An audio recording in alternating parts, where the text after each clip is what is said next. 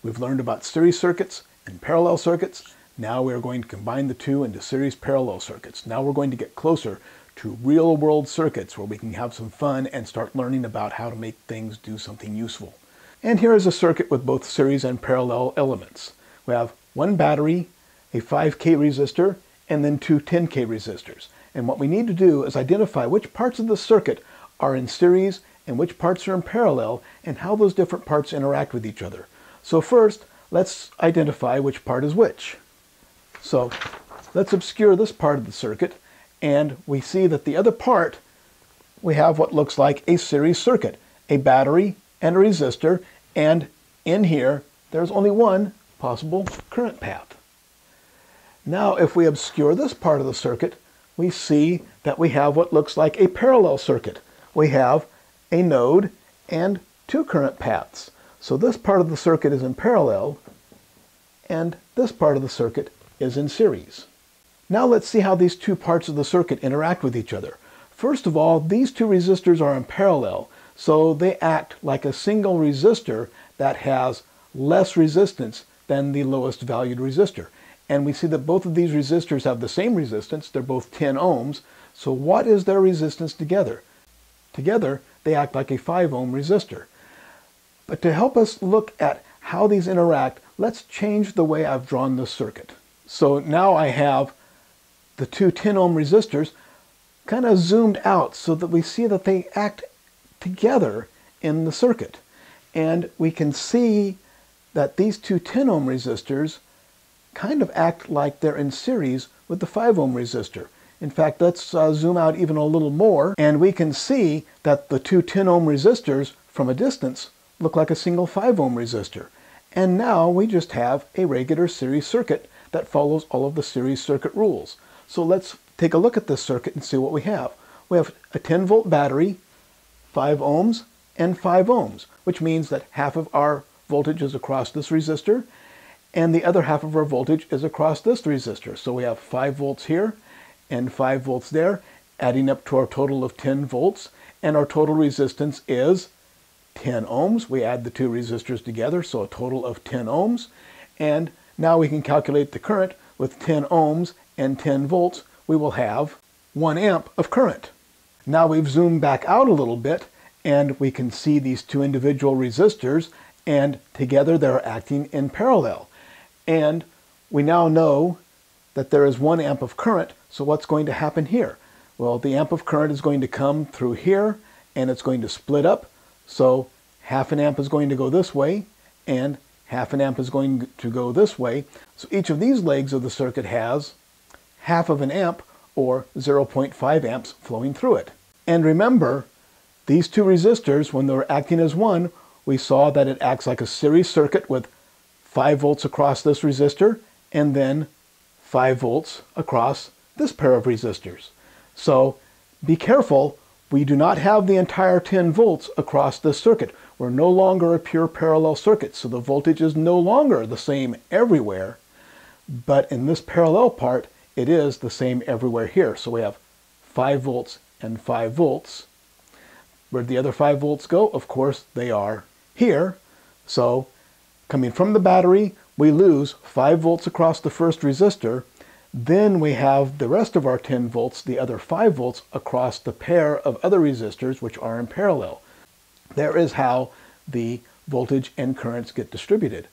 So let's confirm this by doing a little quick Ohm's law. We see half an amp and 10 ohms. We want to know our voltage, so we multiply. So 0.5 times 10 equals 5 volts. Same thing here, of course. So it all balances out. Now we're back to the original style. We have 10 volts, 5 ohms, two 10 ohm resistors in parallel, which together act as 5 ohms. So we have half of our voltage, 5 volts here, half of our voltage, 5 volts here. 5 volts across 10 ohms gives us half an amp. Same thing here, half an amp. So we have a total of 1 amp of current, and there's our total current, which circulates through the circuit. Here's a very similar circuit. I changed the numbers just to mix things up a little bit. We have 30 volts, again 5 ohms. This time we have two 20 ohm resistors in parallel. So let's analyze this circuit. Once again, this half is in series. So we have a battery and a resistor, only one current path. This half is in parallel. We have two current paths. Let's analyze the circuit and see what it looks like. So, first of all, what is the total resistance of these two resistors together? Well, I made them equal resistors so we can do it quickly. 20 ohms in parallel with 20 ohms is going to be a total of 10 ohms. So now let's zoom out and see how this circuit looks if we take a wider view. So now we see that these two 20 ohm resistors are acting together like a single 10 ohm resistor.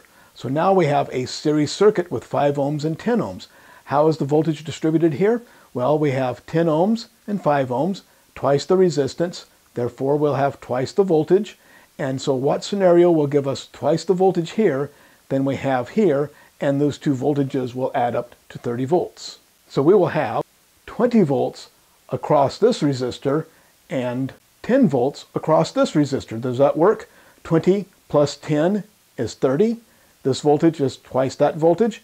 It works out. Let's confirm that with Ohm's law. So what's our total resistance? We have 10 ohms plus 5 ohms. That's going to be 15 ohms. So let's divide that 15 ohms into our 30 volts to find our current, which is 2 amps. So 2 amps through 10 ohms. Multiply those together to get our voltage. 2 times 10 equals 20 volts.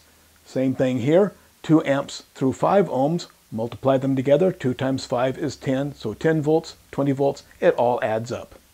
And now we'll start zooming back out to get back to our original drawing. Now we're back to the original way of drawing the circuit. And so we have 30 volts, 5 ohms, our two 20 ohm resistors in parallel. And once again, we do not have the entire 30 volts across these two resistors. The, re the voltage is no longer the same everywhere. I have a third of my voltage here and two thirds across these, but in the parallel part of the circuit, the voltage is the same everywhere in this part, so we have 20 volts and 20 volts. And if we look at the currents, well, what do we have? We have 2 amps, we have two equal resistors, so we must have equal current going through them, so it's 1 amp each. Let's confirm that with Ohm's law. We have 20 volts across 20 ohms. 20 goes into 20, gives us 1 amp. Same thing over here. So it all balances out. This one's a little more complicated, but we can break it down into its series and parallel components and see how to work it. So we have a series circuit, only one possible current path. On this side, multiple paths, so it's a parallel circuit. But if we look at these two resistors, we see that there's only one current path between them, so they're in series again. So we have a series circuit a parallel circuit, and a series circuit again.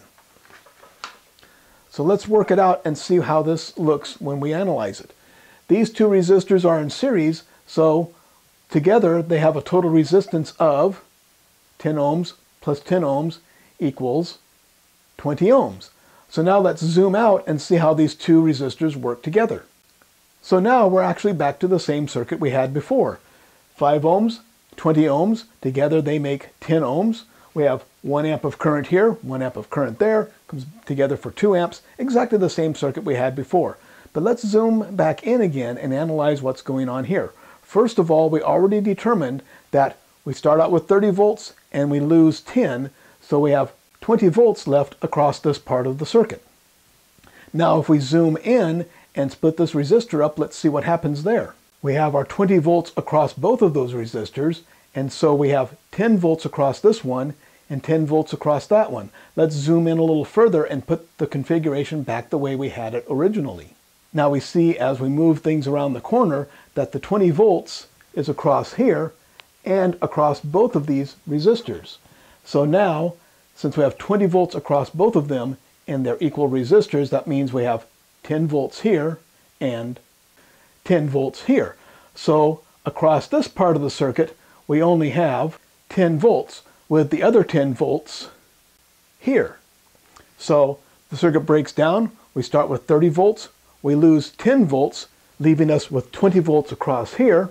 Then we lose another 10 volts here, leaving us with only 10 volts across there. Let's see if everything still works. If it does, we determined before that there was 1 amp here and 1 amp here, giving us a total of 2 amps. Let's see if that still works. We have 10 ohms with 10 volts across it, so we divide our 10 volts by 10 ohms, giving us 1 amp. Or, as we take both of these together, 20 ohms and 20 volts gives us 1 amp, so it still works out. And of course, 20 volts across 20 ohms gives us 1 amp. 1 amp plus 1 amp gives us 2 amps, and the circuit is still working as we expect. This one's a little complicated, but if we break it down into its individual parts, we can work it out. Don't be afraid to repeat parts of this video to make sure you understand each step of the way.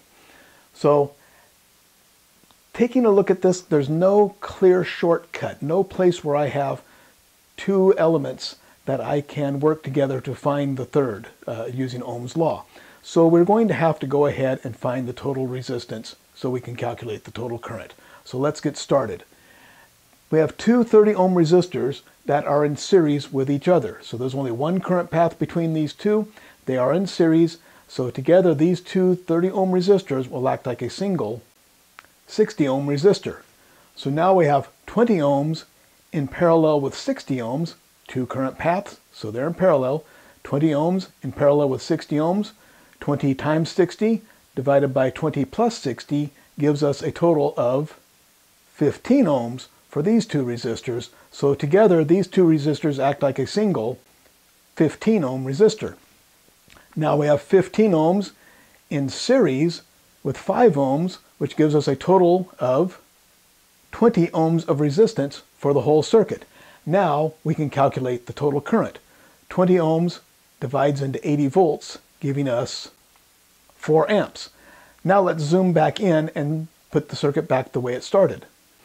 So now we know that we have 4 amps of current and that 4 amps will go through the first resistor, we'll split these two different ways and then come back to give us our 4 amps. Let's see how that splits. First of all, let's see how these two resistors work together. Once again, we have two 30 ohm resistors, so together they act like a single 60 ohm resistor. So we have 20 ohms in parallel with 60 ohms. So we have a 3 to 1 ratio. This resistor is 3 times that resistor, so it must have one third of the current. So what currents could we have here where this resistor has 3 times the current of that resistor and those add up to 4 amps? That would be 3 amps through the 20 ohm resistor and 1 amp through the 60 ohm resistor, giving us a total of 4 amps. Now remember that these two resistors together are acting like 15 ohms. So let's double check these by checking the voltage across here and see if these add up. So we have 15 ohms and 5 ohms. How many ohms is that total? 20 ohms. So 15 and 5, this is 3 quarters of our resistance and 1 quarter of our resistance. So we'll have 3 quarters of our voltage here and 1 quarter of our voltage there. So across here we will have 60 volts. And then the other 20 volts is across the 5 ohm resistor. So with 60 volts across 20 ohms, 20 divides into 60 three times. And here we have 60 divides into 60 one time. So we have 3 amps and 1 amp. So that does balance out. Now let's zoom back in and split these two resistors apart. And now we know that the 60 volts is across this resistor and across these two resistors together. So 60 volts from here to here, and we have two equal resistors. So if we start with 60 volts and we lose half of our voltage by the time we get to here, we have 30 volts left over. So we have 30 volts across our resistor here. So let's see if the numbers still add up. 30 volts, 30 ohms. Divide 30 into 30, we get 1 amp. It still works. And we have 60 volts across the 20 ohms still. 20 divides into 60, giving us 3 amps. So the whole circuit still balances out, and now we've calculated the currents and the voltages across the circuit. So those are the essentials of series parallel circuits. Break down your circuit into its individual parts where you have series parts and parallel parts. work those out, and then see how they work together as a single circuit. Be sure to watch the video on series parallel circuit exercises because it's very important that you understand these before we can move on into real-world electronic circuits. If you found this video useful and informative, please give me a thumbs up down below. It really helps the channel. And subscribe because that not only informs you when I put new videos up, but it really helps the channel also. And a big thank you to my patrons at Patreon. I could not make these videos without your support. If you want to help me put these videos online and keep real vocational education free at vocademy.net, you can go to patreon slash join slash vocademy and pledge your support. And again, a big thank you to my patrons who make this possible, and a big thank you to everyone for watching.